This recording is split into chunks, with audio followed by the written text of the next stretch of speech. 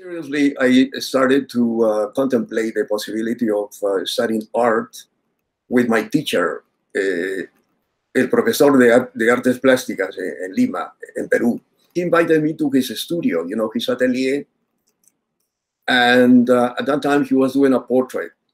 And I really like uh, the fact that I was in the middle of this kind of, uh, you know, beautiful space with the easel, the, the colors, and the, the painting in process. So I was impressed by all that, and it was really fixated in my mind. And I said, probably I will have to come back. So that was the first introduction to what a studio was. I was 14. Well, I guess I started a little late, but in any event, I do record that when I was uh, smaller than that, uh, six, seven, eight years old, uh-huh. I used to illustrate my, my books, you know, my copybooks with images, with color, without the teacher telling me. So uh, I guess that was uh, an early index that I really like uh, painting. Yes, in a way, because I like, I like the atmosphere, the, you know, the colors, the idea, the dedication, and and the fact that the teacher was very patient with me. And so I like that that, that space. So somehow it, it, you know, called my attention to that world. I guess my sensibility for color, for different uh, yeah. shapes, or the space was such that it, it get an impression on me.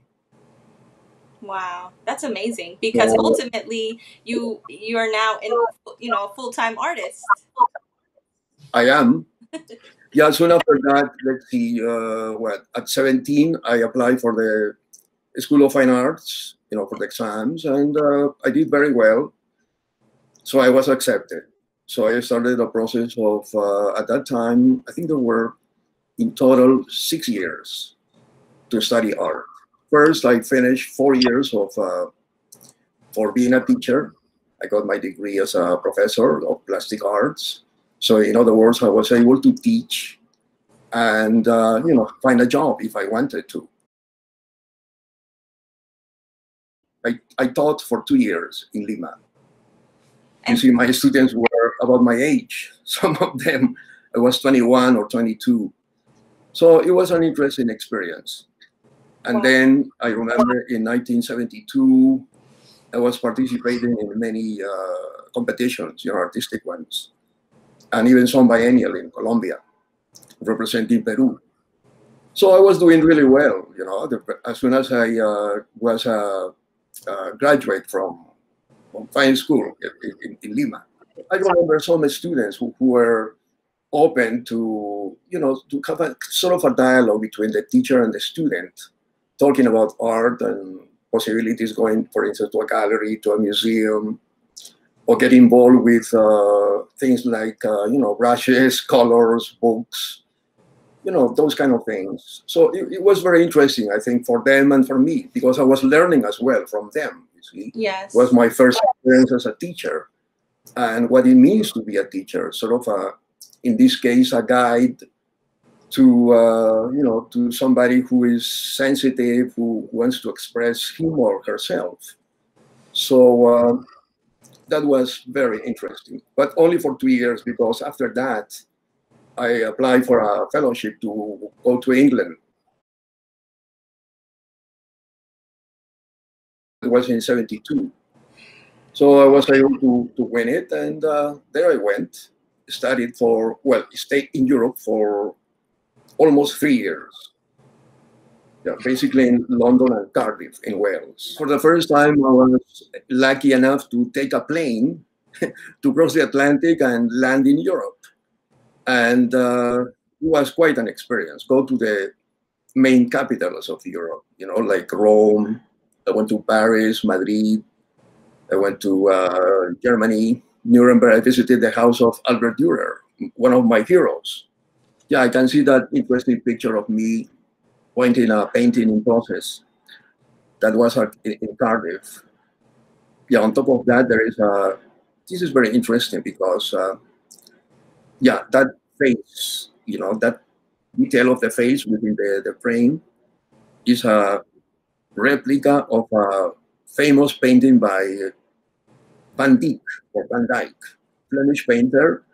So I took it from books and then from the uh, real painting at the National Gallery in London. So I did my own composition. You see, I, I combined my elements dur during those years, which, which were kind of surreal, with the straightforward reality of a portrait by a master. And that is the result. Oh, absolutely, yes. Otherwise, just would be a replica. But I didn't, you know, it was the, the so-called appropriation of an image into my own work. Right. And I did that in, in oils. Depends on where the difficulty could be. Is in the interpretation and the nuance and the expression of it, or how you assimilate the the you know the main source, which is the work by the master, and the fusion that this could be done with your own interpretation. Right. And how do you express it technically? So it, it is not always easy, you see. Depends as well on the technique. If this is a small work, if it, if it is a work on paper, canvas, wood, or panel, or just a drawing. Right. I remember doing some works on paper that, that they are on the website that, that they find I find them very appealing to even nowadays because you know I was I think 26 or 25 when I did those, and there are small pieces like this, you know, like a you know page, and uh, I did a replica of Rembrandt, one of his self portraits, but in the middle of, of my own creations, you know, in black and white, and the result is very pleasing, at least to me. Van Rijn, the, the Dutch painter, some master. So there, there he is. I wanted to do my own interpretation, you know, in the surreal sort of metaphysical world, but him in the middle, in miniature. And all this is done in black and white with graphite and uh, hard pencils like 3H, 4H, 7H, which are the hardest. Right. And with a few degrees of, you know, softer pencils. But everything in black and white. Very, to me, very, very appealing, very mysterious. It's, it's a medium, you know, a channel for, for the right. artist to express himself. Right. Yeah, paying homage and respect to, to them. You know, trying to maintain a certain uh, umbilical cord, you see, of beauty and respect and, you know, capable to, to express something really unusual and powerful. So that, that was the purpose, you know, admiring Rembrandt like I do admire Leonardo, Michelangelo, Van Eyck, Van Dyck, Rembrandt, of course, and Dürer among them. So those are my my leaders, my my guys, my masters. Well, needless to say, these experiences allow us human beings to get a better perception of the world, you know, a, a more personal vision of what our purpose is here on earth.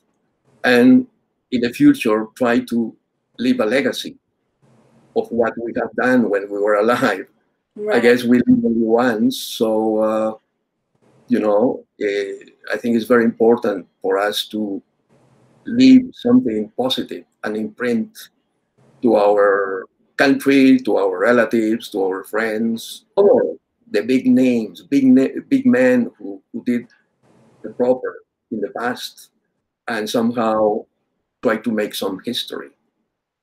You know, in a very humble and dignified way, but you know, the sky is the limit. We, we, we have to pursue it. And we have only one chance to do it while we are alive and conscious. I guess the closest aim is to sort of leave an example, you know, to, to my to my own people, to people from Peru and South America, Spanish speaking uh, people who are part of this world, you know, and try to do their own in the best possible way by by doing something, I guess, exemplary, you know, yeah. clear, on direct, and, and, serious. So that way, we continue the, the walking in, in, in this world as, as, as artists. That's that's how I see it. There is a painter by the name of Carlos Bacaflor. He he he's a very very interesting personality. You see, he was he studied in Chile first when he was uh, let's see between 12 and 21 his parents were born in Mollendo in Arequipa and uh, they they wanted him to go to Chile because he was close anyway to, to study art. His mother saw in him very good qualities, you see, as an artist. So they decided to take him there, finish his studies for six years. At the very end, the, the Chilean authority, you know, the, the faculty, uh, chose him chose him as the, the main student. And they were going to give him a purse to go to Rome to oh, pursue wow. his career and study there. But with one condition, they said, so Mr. Bacaflor, you are an excellent student. You, you have been given this prize, but we request one thing from you. And of course, he asked, what is it? Well, you will have to acquire the Chilean citizenship. Oh. You have to be a Chilean to get it, to honor it. And Bacaflor said, no, thank you. I am Peruvian. I, I cannot accept it. Accept it. So what he did is came down to the floor because he was, you know, three steps where the where these people were, and, and he left because it was important for him to keep his nationality. So the president of Peru then, I think it was uh, Andrés Avelino Cáceres, I think. He heard about it and he said, well, amazing. This is, we have to do something about this gentleman because he has proven that he's a real Peruvian.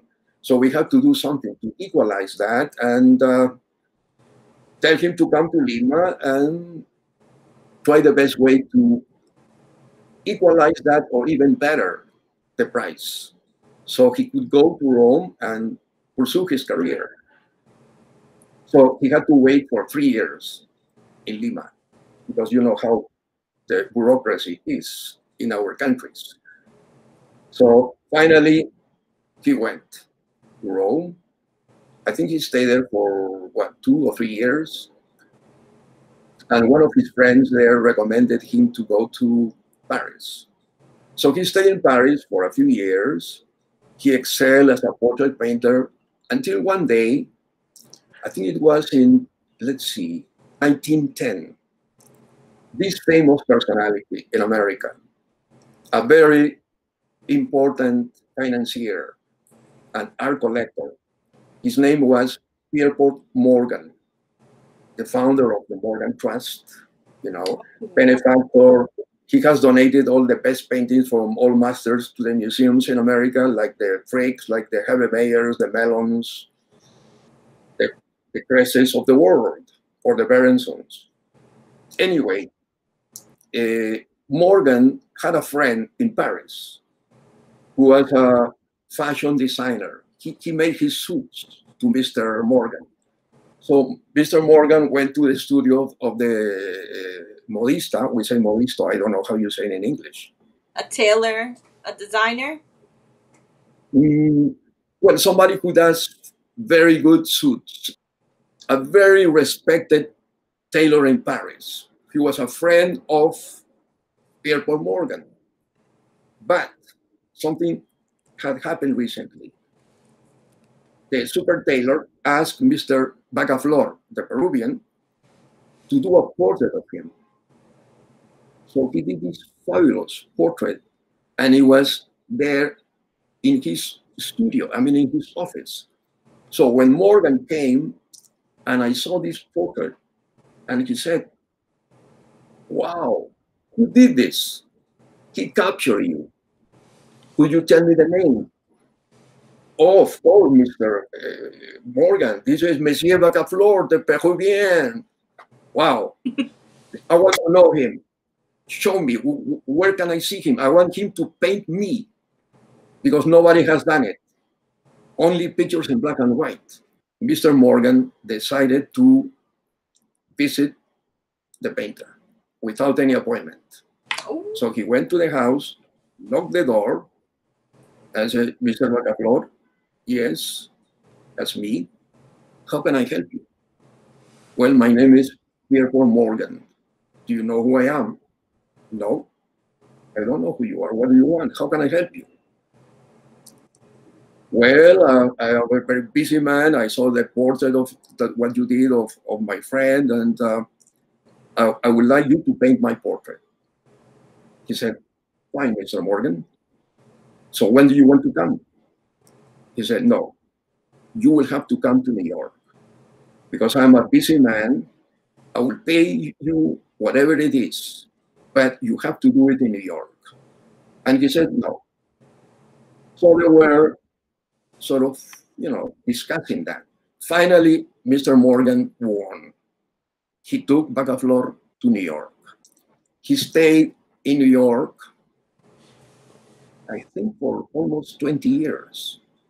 Unbelievable. You know why? Because Mr. Morgan introduced Bacaflor to all la crema innata de la sociedad neoyorquina en cuestiones de, you know, religious judicial, financiers, right, businessmen, law authorities. So he did portraits of, of, of the New York society in those years. So the first portrait that he did of Morgan. And you know what? Mr. Morgan decided to do 10 replicas of that portrait. And one of them is at the Metropolitan Museum. The other one is at uh, Morgan Chase collection in downtown. The other one that I know is at the Morgan Library. So the other seven, I don't know where they are. But there exists 10 replicas of that famous portrait of Mr. Morgan painted by Carlos Bacaflor, the Peruvian. So with this, I was trying to tell you how interesting is the life and travails of citizens of the world, but some of them pass away without notice because we don't want to hear anything. We are so immersed in our own work, and the officials, the you know, the, the authorities in the different countries forget us. They don't care about them because they are in their own perimeter, right? So it, maybe it's not their fault, but somebody has to be responsible about getting to know who is who. Look, Juan Diego Flórez, I'm so proud of him. This is our best letter of introduction to the world, like Mr. Mario Vargas Llosa. And then Bacaflor now, Cesar Vallejo. I mean, if we talk about Cesar Vallejo, it's unbelievable how important this man was. But he didn't get the Nobel Prize like Pablo Neruda did. But there are scholars who say that, I'm sorry to say, you see, the poetry and the, and the content of the works by Vallejo are of a different nature, completely an entire caliber that has nothing to do with the work of Mr. Neruda, being him a splendid writer that he is. Right. Why? Because the channels of function were different. Mr. Vallejo was kind of really personal, you know, on retired, heavy duty involved with politics, while Mr. Neruda was a diplomat as well. He was an ambassador from Chile in Paris in oh. his lifetime. I mean, at the best of his lifetime. So I guess he had more access, right, to to be seen, to be heard, to be understood, right. to convey for him to convey his ideas. And people reacted accordingly.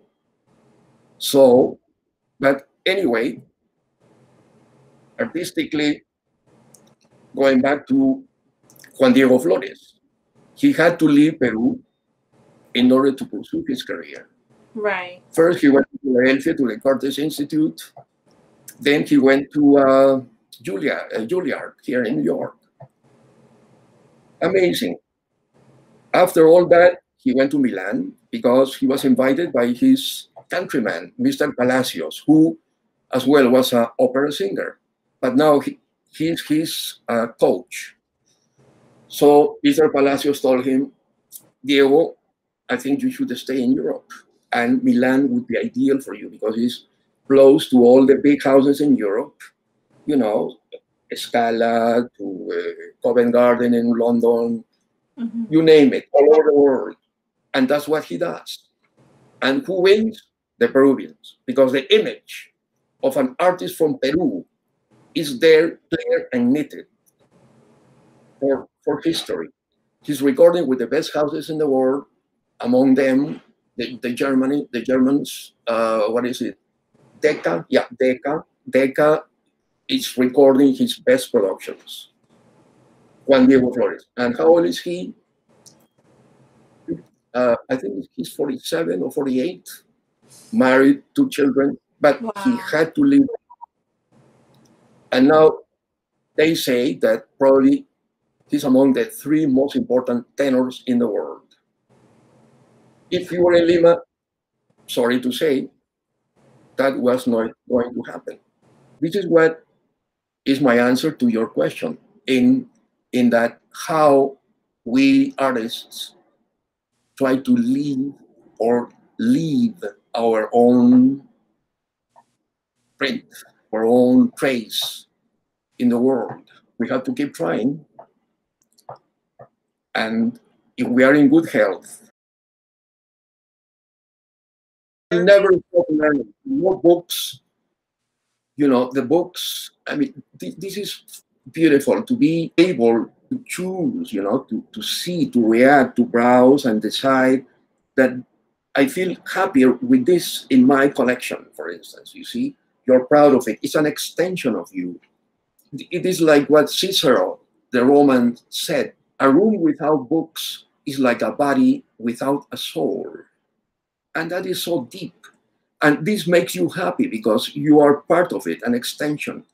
You, you see the binding of the book, you know what it is because you project yourself into it and you are creating already, you know, united forces and different mm-hmm. avenues for you to meet if you have that, you know, that essential capacity that... to recognize what could be possible. And a book gives you that. Even even the smell of it, the weight, the, the, the color, the, the, you know, that's why the, the these people who, who have access to first editions or to incunabula or collector's items, you see, and they're proud of that. They, these are their babies. You know, it's like instead of collecting a painting, they, they, they collect books, bibliometrics, and it, it, it's a beauty. You know, when, when I was in London, my goodness, I saw the Wallace collection in uh, in the center of London, West One. I was there going almost every weekend to see the collection of paintings, but go to the book to the library where the books are. You know, me as a Latino Peruvian have the luxury to to really you know be aware of that and enjoy. So when I came to London, I went to the Morgan and I see almost the same concept. You see, the design, the architecture, the books, the, the program, the education, possibilities of, of, of that from a different house. It's like a petite uh, Victoria and Albert Museum or, or the Louvre or, or the Frick Collection, you know, all in New York. But I could see clearly the influence that the English had among us, you see, especially in the concept of museums and libraries. And that is really, you know, a luxury, really uh, amazing to, to see that, how powerful culture is. I agree. Absolutely. Yes. because we have to be, you know, uh, witness of what is going on, on around us. Try to express it, in this case, as a painter on a bidimensional surface. And uh, conveyance of ideas, possibilities, color, style, fashion, technique, which takes a long time, you know. We, we, we're always learning. Nothing remains the same. Life is so organic, it's so full of energy. So accordingly, the idea is even better because, you know, the influx of ideas from uh, Schopenhauer to Mario Vargas Llosa or from uh, Hippocrates, who said, by the way, this famous adagio or tenet that vita brevis ars longa. What does it mean? Life is short and art is forever. And wow. it's, it's true. It is true. And he was a, a physician, so called the father of all the physicians. Therefore, the famous oath of, of, of, the, of the doctors. And it's an art, you know, the art of curing, the medicine. They had to, well, some of them were, well, the, you see, the famous, the monks, the, the, the medieval sages who were a bit of everything inventors, artists, writers, thinkers, philosophers, like St. Thomas of Aquinas, you know, theologian, a philosopher dealing with art and reality, like uh, Plato did, or Ficino uh, in, eh, eh, in, in the Renaissance in, in Firenze, Italy. You know, when, when we read and we compare, we analyze, we we try to understand how the world works. You see, right? Ideas, what what is reality you see? Representation. Oh absolutely. Absolutely yeah. Proud and you know to accomplish uh, the standards uh, for for them to to choose me as a as a winner. And to be given a diploma that enabled me to you see to in this case to teach. Because without it even here you know in america if you don't have a degree you cannot perform your your best. Right. That's why many doctors from Argentina, from Peru, from South America, they could be excellent uh, doctors, but they cannot exercise the, the, their, their, their tools here because they don't have the degree necessary to prove that you are qualified, even more so than, than the others who have the credentials. You have to follow up, you know, a rule uh, of, of the uh, the principles of the different uh, governments. So yes, when I when I finish, I, yes, but I said, well, this is this is just the beginning because I'm young and uh, I, I want to try different lines. So I, I went to to the British Council and applied for this fellowship. I won it and I went to England, to London. I traveled all over Europe, visiting museums firsthand. You know, I never thought that that could be done so fast for me because I wanted first to pursue my career as a painter in Lima, you know, exhibiting, gaining prizes, mm-hmm. getting important collections, being in museums, and all that. But I said no. I am. I want to. I want to try other other other latitudes. You see, that that's why I went to Europe. Then came back to Peru for three years in order to live again. I won the Fulbright and I came with that fellowship to Pratt Institute to continue. And but then it was a decision. I'm staying here, and this is what I'm doing. I always wanted to come to New York. Yes, you see, because New York nowadays is Mecca, something like uh, Paris was in the 50s. So it's, it's very interesting to be witness of that when you are in at your prime. You know, to to really enjoy, analyze, and and study the conditions of what does it mean to, to live in a country like uh, United States in New York. Could be Chicago, Boston, Los Angeles, which is about the same, but nothing compares to New York. You know, as a as a as a land of challenge, you know, opportunities. I prefer to be a citizen of the world, be anywhere, you know, so yeah, sure. I mean, those experiences being in Europe, witnessing all the man, the, the culture, the customs, the food, everything related to what it is, the essentials of each country in Europe, and go back, come back to America and re revisit Latin America, it gives you a better vision of what the world is, you know. It, it knocks your door about what to do with all this richness within you. Yeah. And if you have the means to express yourself, that's that's it. That's the name of the game, you know, to be able to convey all these resources, all these energies in order to express yourself. And as I said, leave something for the future, you know? And that's that's a, a beautiful challenge that we have to fulfill somehow, you know, with good health and predisposition, why not? We are enjoying life. I think that that's that's a real enjoyment of life. We cry, we laugh, we walk, we dream, we, we sleep. Dreaming and sleeping is not the same, you know. Yes, all those experiences I think will have a resonance in your work uh, as an artist, be it movies, design, architecture, painting, yeah. writing, even singing, you know, because you learn from, you, you, you, take the best and you filter it, you, you make a, un alambique, ¿no? Fundamental de lo que está pasando en el mundo. Yes. And you for you the best and you cherish it, you ponder it, you are proud of it, and you, you give it away, but with, with a very, very eloquent and mature, sophisticated way of, of expression. So people can really value, treasure it, and feel good about it.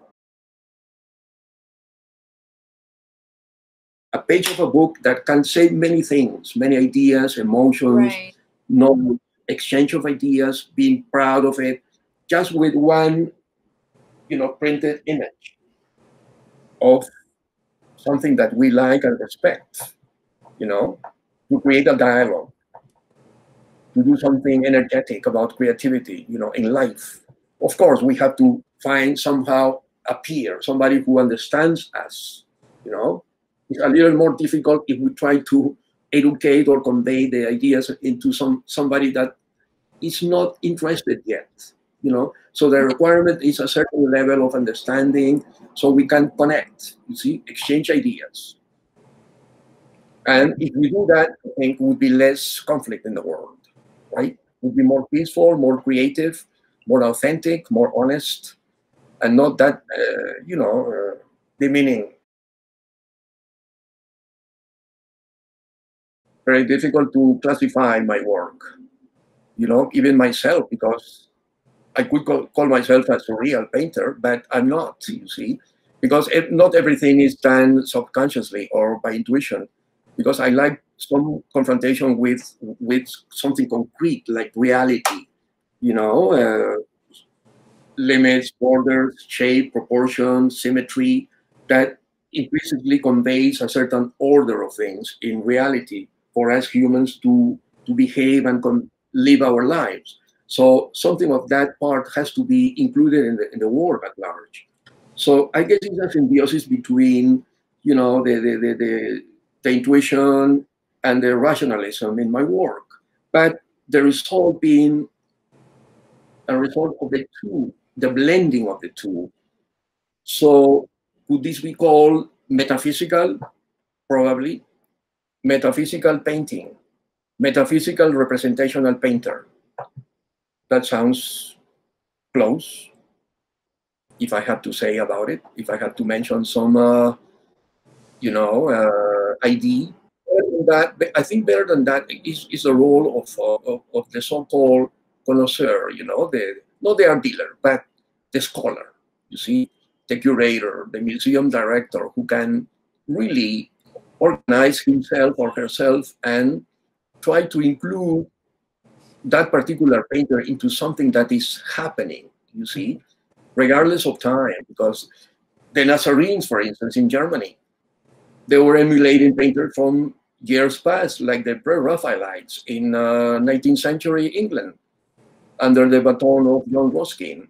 You know, there were these painters gathering around him because he was the great guru, the wizard yeah. saying that everything before Rafael Sanzio was the best in art. Now it's just a variety, it's not important. So if you want to belong to this movement, come, come to us, come to me. So the movement called Pre-Raphaelites was created. You know, that the, Rossetti, William Holman Hunt, uh, Albert, what is his name? Uh, Millet. It's not Millet, the French, Millais, M-I-L-L-A-I-S, who was, uh, uh, uh, he was the leader of his workshop for designing, for painting, for architecture, you know, but they believe in, in this movement. I think I, I answered that question, which was uh, very, very, very interesting because sooner or later it was coming, right? yes, absolutely. Well, you're a unique individual, you know. You're it's the you best know. compliment I've been told uh, after an interview. Okay, I wanted before we end. Now let me be the interviewer.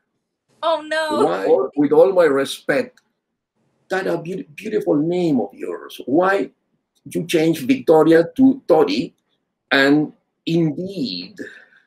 Wow. Okay. yes, Vicky. I mean, indeed. The what do you mean? Oh, sorry, I didn't mean to be so aggressive. But no, it's okay. My name is Victoria, right? I love my name. Yes. Tori was more of an identity where, you know, whatever job or employment I had, I can keep it separate or my life. Right. I love my name yes. Victoria. So Indeed just amplifies that I am Victoria indeed. Like I am I am me. You know, I'm true to myself. Of course I am. Yeah. So that's why I chose the Beautiful. word indeed because it, you that's know, very, I, very, very kind of Latin American, serious, elegant sense of humor there. You know, a little touch. Indeed. you know, English, Latin America, Peruvian, I think, Peruvian, some something of of the Peruvians in the in the good quality sense of humor related to your name, to your artistic name, and that that's why I like it. You see, but I wanted to hear from your lips. Gracias. Muchísimas gracias también. Que le vaya muy bien.